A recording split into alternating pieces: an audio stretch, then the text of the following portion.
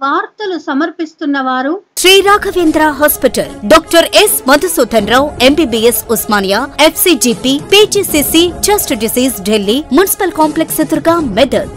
మెదక్ జిల్లా కొల్చారం మండలం ప్రాథమిక ఆరోగ్య కేంద్రంలో స్వచ్ఛదనం పచ్చదనం ప్రోగ్రాంలో భాగంగా మొక్కలు నాటిన ప్రాథమిక ఆరోగ్య కేంద్రం డాక్టర్ రమేష్ నాయక్ అదేవిధంగా కొల్చారం పరిధిలో గల సబ్ సెంటర్లలో స్వచ్ఛదనం పచ్చదనం కార్యక్రమంలో భాగంగా కొల్చారం రాంపూర్ అంసన్పల్లి వరిగుంతంలోని తుక్యా తాండాలో ఆరోగ్య శిబిరం నిర్వహించారు.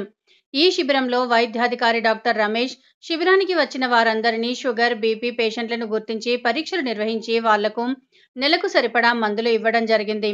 అదేవిధంగా పరిసరాల పరిశుభ్రత గురించి వివరించారు.